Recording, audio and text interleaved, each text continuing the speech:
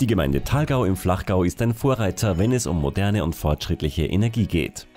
Seit kurzem betreibt die Gemeinde die erste kommunale Energiegemeinschaft des Landes. Eine Energiegemeinschaft ermöglicht es ihren Teilnehmern, dass sie die produzierte Photovoltaikenergie oder die Energie ihres Wasserkraftwerks gemeinschaftlich erzeugen, verbrauchen, verkaufen und speichern. Und das zu einem Preis, den man selbst bestimmt. Für den Start wurde auf dem Dach der Gemeinde eine 27,5 kW Peak PV-Anlage installiert. Diese versorgt schon jetzt die ersten Mitglieder mit sauberem Strom. Das ist für mich einfach der große Gewinn auch, dass die Leute sich mit Energie beschäftigen. Wo kommt er her, wie wird es verbraucht und äh, wie viel wird verbraucht.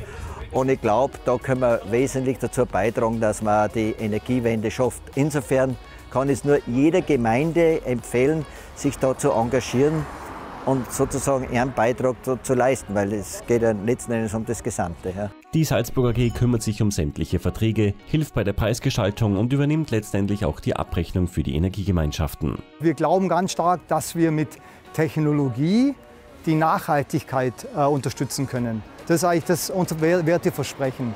Mit Technologie Nachhaltigkeit unterstützen, also Tech steht für Technologie, Green für die Nachhaltigkeit und jetzt Produkte zum entwickeln, die dem Kunden helfen, Strom zum Sparen, Energie zum Sparen und damit dann auch nachhaltiger zum Leben.